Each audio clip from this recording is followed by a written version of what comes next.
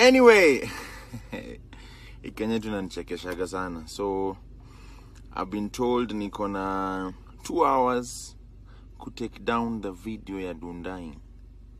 So mi najiuliza video iko na shida gani? Um, so mnajua na kina nani wameniambia nitoe.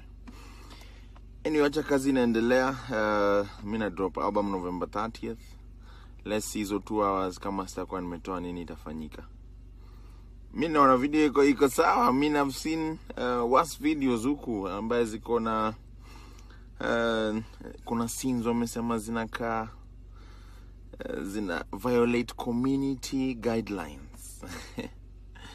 Anyway um, keep watching dundying for the next two hours manzi, tutakuwa tumetolewa kwa internet. Beautiful day people. Kenya yetu ni nchi ya ajabu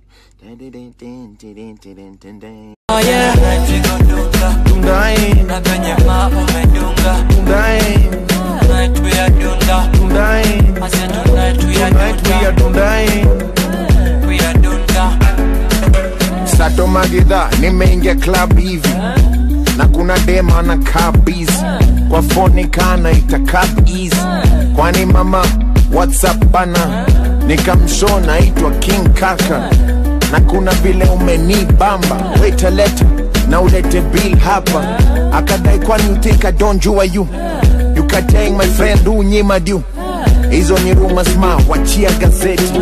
We kwani kunywa inkapeti nitembeba inyuka kibedi this lale is malizaing me bana Dunda, eh. I say tonight we eh. I say my girl we eh. I say tonight. Tonight we. Eh.